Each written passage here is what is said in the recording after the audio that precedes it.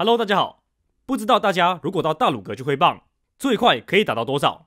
我的话连一百一都打不到，更不用说一百四、一百五了。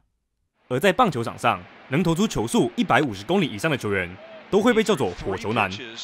但在美国职棒大联盟，曾经有一名选手投出了时速一百七十公里的超级火球，震惊了全世界。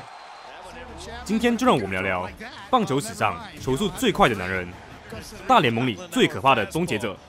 地表最速火球男，古巴飞弹，Arodis Chapman。一九八八年二月二十八日，Chapman 出生在古巴东部的奥尔金。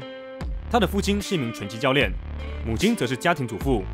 因为古巴经济水平落后，他的家境非常贫困，一家五口都住在小房子里。想要赚大钱来翻身，也成了 Chapman 的目标。查本在十一岁时开始打棒球，十五岁就加入了地方球队。当时他的位置是一垒手。不过，随着年龄增长，他的投球天赋展露无遗。看似单薄的左手，竟然蕴藏着强大的力量。于是，他站上投手丘，开始上演最速神话。年仅十七岁，查门就进入了古巴联赛，效力于奥尔金猎犬队，担任队内的先发投手。四年内投出了三百六十五次三振，成为联赛三振王，并在二零零八年以时速一百六十四公里的超速球改写古巴联赛的历史纪录。表现出色的他，也入选了古巴国家队，还曾经来台湾参加世界杯棒球赛，在对上韩国时送出九 K，对上日本时送出十一 K，带领古巴斩获亚军，还当选大赛最佳左投手。二零零七年拿下泛美运动会金牌，二零零九年到美国参加棒球经典赛，更让他引起了大联盟球探的关注，被认为是大联盟之外最好的三名投手之一。另外两名是日子的达比修友，还有还是大学生的天才小史。这时的他，如果进入大联盟，就能签下百万美金的合约。但因为古巴的体育禁令，查门只能领着微薄的薪水，也让他有了叛逃的想法。其实，古巴球员叛逃出走一直都不是什么新闻，甚至在去年 U 二三世界杯，还出现全队二十四人就有十二人叛逃，只剩半数人回国的情况。而在拳击、排球或是其他运动上，都有很多来自古巴的选手，他们无一例外都是叛逃出国的。究竟是什么原因让古巴选手不惜千辛万苦，冒着生命危险都要逃离古巴？这一切都要从一九六一年开始说起。一九五九年，古巴革命领袖卡斯楚上台，他是个热爱体育的政治狂人，但也是个独裁者。在他的领导下，古巴在一九六一年颁布体育禁令，禁止人民从事职业运动，只能为国家效力，也导致了古巴职棒的解散。在举国体制下，古巴成为了体育强国。来自古巴的拳击手多次拿下奥运金牌，而强大的古巴棒球队也获得了“红色闪电”的外号。但因为当时正处美苏冷战期间，古巴选择加入社会主义阵营，引起了美国的经济制裁，整体经济水平落后，就连棒球员的月薪也大概只有几百美金，和大洋彼岸的 MLB 比起来，可以说是天差地远。也正是因为这样，无数的古巴选手偷渡过海，追寻他们的美国梦。有些人叛逃失败被捕。有些人被人蛇集团勒索，成功踏上大联盟的土地，并打出名堂的选手少之又少。但年轻的 Chapman 已经下定决心，不惜一切代价都要成为世界上最好的投手。早在2008年，Chapman 就尝试过偷渡出国，但就在上船的前一刻被警察现场逮捕。好在 Chapman 当时已经是国内有名的投手，他只被判处了一年禁赛，无法参加当年的奥运会。还有人因为建议枪本叛逃，就被古巴当局以偷渡球员的罪名判处了十年的有期徒刑。尽管遭到挫折，但枪本没有放弃。二零零九年，他回到国家队，并跟随球队到荷兰参加港口杯棒球邀请赛。抵达饭店后，枪本意外地发现，随行的安保忘了没收他们的护照。借由这个机会，他马上联系了荷兰的朋友，找个借口出饭店抽烟，然后马上逃离荷兰，驱车一千八百多公里。一直逃到西班牙，在获得欧洲小国安道尔的居留权后，他正式成为了自由球员。这个决定让他抛家弃子，远离家人和女友。但查门已经没有回头路了，他的下一站就是美国职棒大联盟。查门人刚来到美国，就引来了大联盟球队的哄抢，成为市场上最抢手的球员。虽然当时因为控球不佳，古巴联赛水平不高而备受质疑，但投球时速一百六十公里的左投就是查门的卖点。当时有很多大牌球队都向他开出了合约，但查门人生地不熟，根本没看过几场大联盟，最后选择了薪水最高的辛辛那提红人，签下六年三千万美金的合约，正式展开职业生涯。刚加入联盟的 Chapman 还是从小联盟开始打起，当时他担任先发投手，防御率四点一一，属于平均水准。但教练很快找到说明书，让他担任球队终结者，也就是当球队领先时，在比赛最后登场，负责杀死比赛，确保胜利的守护神，也被叫做救援投手。而乔门接下这个任务后，马上发挥了最高水准，防御率降到二点四，来到精英投手级别。二零一零年八月三十一日。他们迎来了大联盟首秀，在八局上半登场，一球一百五十八公里速球，一球一百三十八公里滑球，再一球低角度滑球，成功三振对手，拿下生涯第一 K。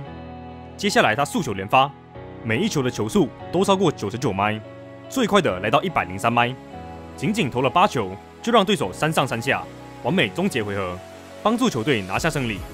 随着比赛经验增加，他们也渐入佳境，成为球队的重要角色。并用他的招牌火球一次又一次的三振对手，球速来到生涯新高，还打破了世界纪录。前面有说过，如果投手球速超过一百五十公里，就会被叫做火球男。而在世界各地的联赛都保留着很多火球记录，中职本土球员的记录是罗家人投出的一百五十七公里，中职纪录则是强克 JM 的一百六十公里。日职的最高纪录本来是大谷翔平的一百六十五公里。不过去年，巴西投手 Vieira 投出一百六十六公里，成功创下新纪录。而在枪本来到大联盟前，世界上最快的球速是九幺九玛雅投出的一百六十八点七公里。但在枪本登上大联盟后，这个纪录彻底改变。二零一零年九月，枪本在八局下登场，投出时速一百六十九点一公里的火球，成功打破世界纪录。而在二零一一年四月，枪本在九局上登场。竟然投出时速一百七十点六公里的超级火球，再一次刷新纪录。不过因为当时现场的三支测速枪都测出了不一样的速度，所以无法成为正式纪录。但枪本的一百六十九公里速球，至今都还是世界最快。靠着速球的能力，枪本很快坐稳主力，成为红人的王牌终结者。二零一二年投出一百二十二 K，防御率低到可怕的一点五一。他连续两年入选明星赛，成为大联盟中有名的投手。但却在二零一四年春训时，被去年的全垒打王小比击球正中脸部，这一球造成枪门多处骨折，搞不好就会有生命危险。所幸手术后，他强势回归，投出了生涯最佳表现，主投五十四局投出一百零六 K，平均每九局投出十七 K，创下大联盟的新纪录，并以一百六十一公里的平均球速，成为大联盟史上第一个均速超过一百六十公里，也就是一百迈的选手。接下来他稳定发挥。持续入选全明星，球速持续领先联盟，还成为史上最快打成五百 K 的选手。但因为红人战绩不佳，他们在赛季末被交易到洋基，短暂效力半年后又被交易到小熊队。来到芝加哥后，他们马上成为集战力，在季后赛上连续出场，帮助球队锁定胜局，拿下当年的国联冠军。而二十八岁的乔本也将要迎来生涯第一场世界大赛。二零一六年 MLB 世界大赛。被认为是史上最精彩的系列赛之一，由国联冠军小熊队对上美联冠军印第安人队。虽然双方都实力强劲，但到第四场比赛时，印第安人已经取得了三比一的领先，差一场就能赢下冠军。世界大赛第五战，小熊在七局上取得一分领先。当时二垒有人，情势危急，他们临危受命提前出场，主投二点二局送出四次三振，以零失分的表现终结比赛，帮助球队守下胜利。但要成为球队守护神，就要承担更大的责任。第六战，枪门再次提前登场。虽然球队拿下胜利，但他的体能也消耗不少。第二天，双方迎来第七战，在八局下，小熊领先三分，枪门再次登场投球，但状态却非常糟糕，反而被对手追平比分。好在他顶着压力，在九局下守下比赛。比赛在暴雨中迎来第十局，小熊打出二比一的领先，以八比七的总分赢下比赛。完成一比三落后的大逆转，魁伟一百零八年再一次拿下世界冠军，也让枪本收获了生涯第一冠。赛季结束，他和杨基签下五年八千六百万美金的超大合约，手握冠军、名气，还有超高薪水，住进了繁华的大城市。回想起在古巴的日子，这样的生活他是想都不敢想。靠着当初孤注一掷的逃亡，他来到了这片土地，真正的实现了梦想，做到了咸鱼翻身。放眼他们的棒球生涯，超快的火球绝对是他最强的武器。身高一百九十三公分，体重九十八公斤，在包得紧紧的球衣下，有着超可怕的麒麟臂，完美符合暴力投手的条件。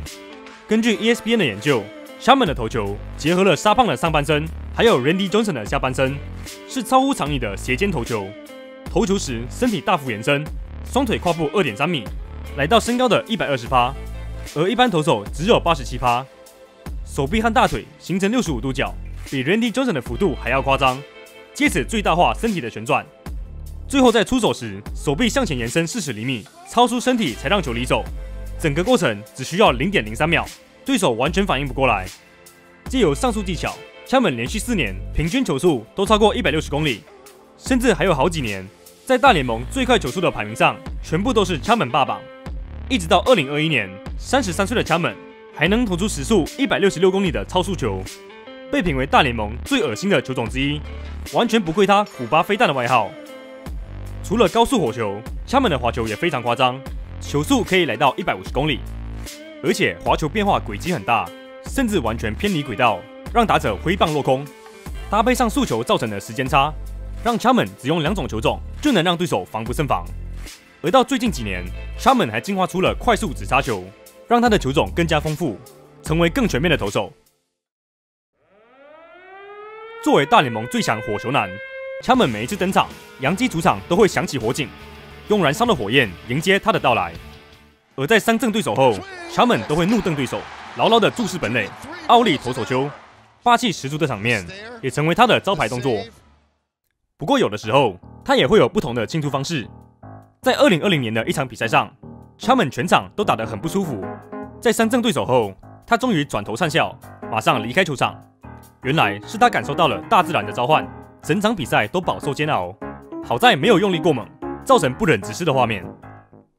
从古巴平民到成为高薪球员，他们的生活有了翻天覆地的变化。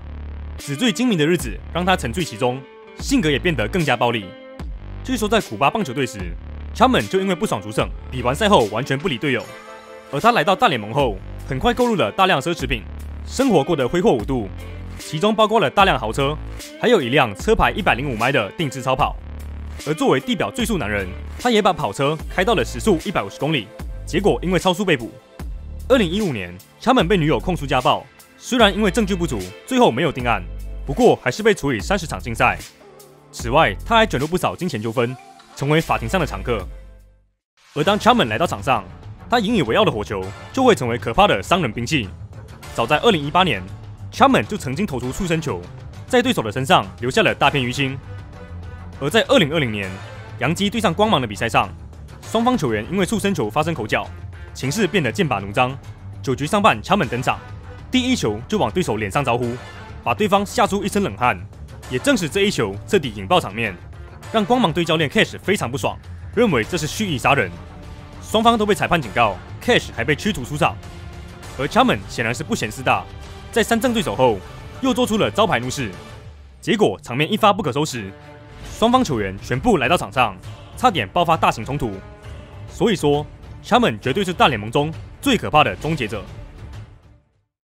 来到洋基后，他们持续发挥，连续两年入选全明星，在二零一九年入选年度最佳阵容第二队，并拿下美联的最佳救援投手奖，但却连续两年在季后赛关键时刻被对手打出再见安打，无缘打进冠军赛。尽管速球的速度开始下滑，但强本进化出了更多球种。在二零二一年开季强势回归，主投九局送出二十二 K，防御率一直是完美的零。本以为 c h a m a n 要重回巅峰，但他却从五月开始疯狂下滑，投球进不了好球带，还被对手连连开轰。昔日的最强投手，却在忽然之间迷失自我，成为人见人欺的保送机器。尽管他再次入选全明星，生涯救援成功来到三百次，还投出生涯第一千 K。但还是掩盖不了身手退化、投出生涯最差表现的事实。赛季结束，杨基战绩惨淡，c h a m a n 的合约也即将到期。很多人认为他迟早会离开球队，但 c h a m a n 只是发文表示：“我不知道故事会怎么发展，但你绝对不会听到我说放弃。”一路走来，他背负了太多质疑，在大城市的镁光灯下，一切都会被无限放大，也让这个古巴的朴实青年在霓虹灯之中迷失自我。从进入联盟开始，他一直保持领先。如今生涯来到低谷，能不能救援成功，全都要靠自己的努力。二零二二年的缩水赛季会是枪本最重要的一个赛季。面对生涯最大的挑战，他能做的只有咬紧牙关，把帽子反戴，在人生的九局下半，守下他的黄金岁月。好的，非常感谢大家的观看。MLB 的停摆终于是告一段落，新赛季很快也就要开始。希望借由这个机会，枪们可以好好休养，重新找回状态，再一次投出最可怕的火球。感谢大家，我们下次再见。